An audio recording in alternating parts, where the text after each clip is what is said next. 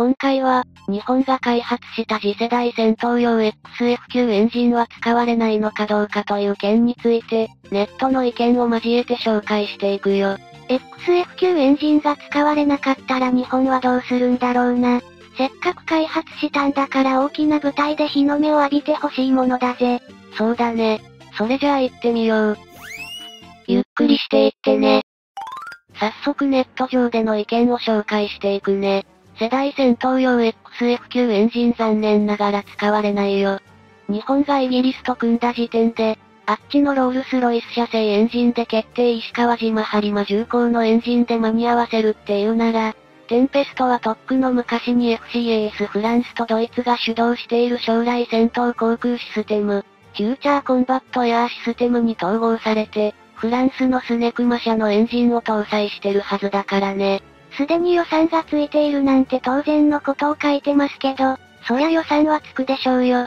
国会を通ったんだから、F3 戦闘機については、エンジンはロールスロイス社が主管になってるから、日本は圧縮機とか、肝でないエンジン部分の開発や生産を任されるんじゃないか。日本向け以外の F3 にはロールスロイス社が責任者になっているエンジンが採用されるのは間違いないね。日本向け F3 にはオプションとして、石張が作ったエンジンを乗せるかもね。日本がどうしても国産エンジンじゃなきゃと主張したら、日本用の F3 だけならできるんじゃないかと思います。でもそうなったら、ロールスロイス社のエンジンに石張は絡めなくなるでしょうね。つまり、イギリス向けやイタリア向けだけではなく、将来的に F3 戦闘機が輸出されるとしても、日本の石張は蚊帳の外ということになっちゃうんですね。EJ200 のタービン温度が1550度という数字はデビュー当時のもの。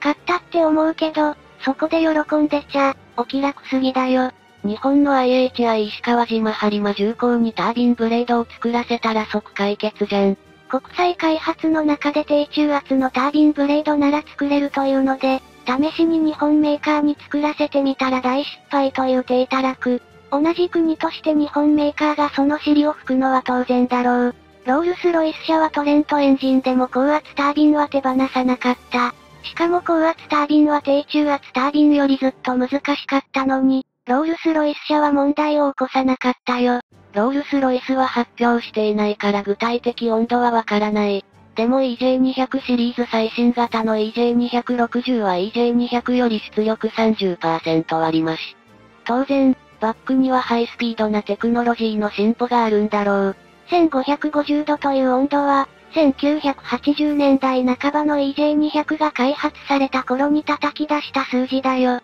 それから40年も経っているんだけどね。日本製エンジンは使われないでしょう。エンジンは実績が重要。昔よりコンピューターが進化して、今は正確なシミュレーションができるようになったけど、やっぱり実際に使ってみないとわからない不具合はたくさんある。実績が全くないエンジンを戦闘機に採用するなんて、賭けですよね。予算がついたから国産で、となるとは限りません。今までのように日本は大金を出して完成品を買うことになるでしょう。もし国産にするのなら入札か随意契約でとなるだろうし、結果は公示されるから確実にわかるはず。日本製エンジン、当然使われるでしょ。日本ではもう次期戦闘機エンジンの製造と、機体設計にとっくに予算がついてるんです。軍事に関する限り、ニュースでも、利権が絡んだリークや、観測気球みたいな記事がすごくいっぱい出るよね。ヨーロッパのサッカー選手の移籍とか、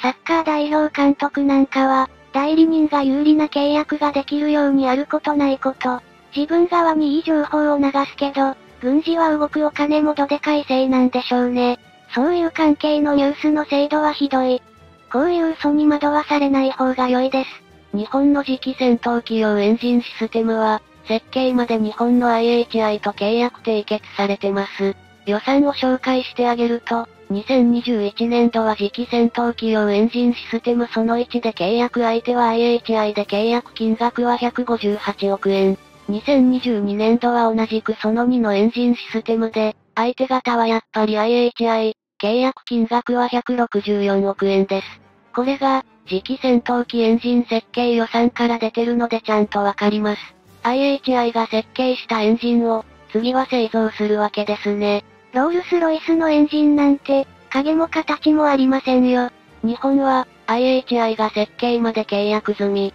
今年度は製造にかかるわけです。IHI 以外にどの企業が、IHI が設計したエンジンを製造するというんですか？イギリスは、2027年に EJ200 の実証機を飛ばしてみたら良いんじゃないでしょうか。エンジン性能のネックになるタービンの入り口温度は XF91 の段階で接し1800度以上を叩き出したんだけど、EJ200 戦闘機のは接し1550度くらいじゃないですか。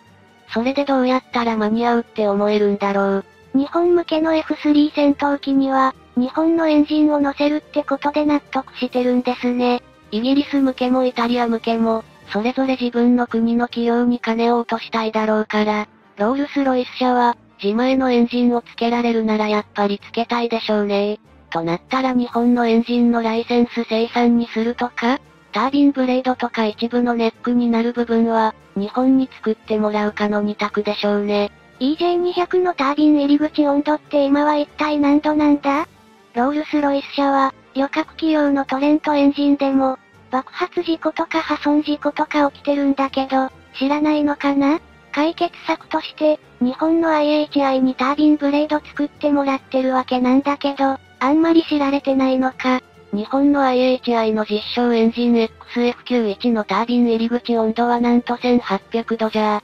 EJ200 って何度なんですかね？イギリスで2027年に飛行させる実証機を、EJ200 プラス SG インテークで行うって発表があったからでしょうね。日本は製造しようかととっくに提案してるのに、XF9 系以外のエンジンで一体何があるんですか？イギリスには EJ200 しかないですよね。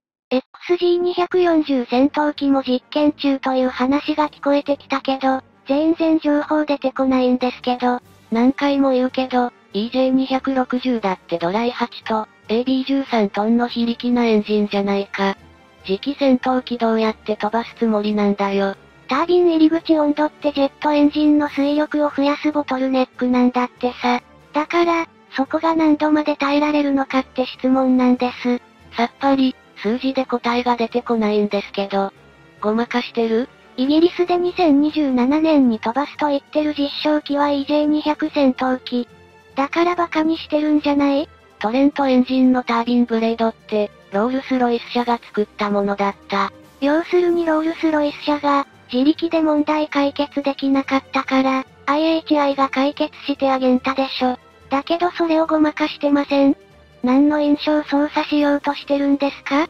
そんなに一生懸命になって、高圧タービンは手放してませんって言い張るけど、中低圧で不具合出したのに、ロールスロイスは自分たちで解決できなかったよね。1550度ならロールスロイスでもできるだろうけど、1800度以上になったら素材技術がある国じゃないと作るのは無理でしょ。全くと言って良いほど情報は出てこないんだけど、XG240 はテストを続けているみたい。一応は、日本から高温に耐えられるタービンブレードのテクノロジーを教えてもらっちゃったのかも。どうしたって、日本で次期戦闘機を使い始めるスケジュールには間に合わないんだけどね。イギリス国内向け戦闘機は、自国が作ったエンジン使うだろうから、X240 エンジンにするかもしれないけど、間に合うならねの話だけど、どうだったかな？賛否両論、様々な意見が飛び交っていたね。ネット上では日本は実績不足が懸念されていたな。お互いに足りない部分を補い合って、結果としていいものを作ってほしいよね。それじゃあ今回はこの辺で。よかったら、チャンネル登録してね。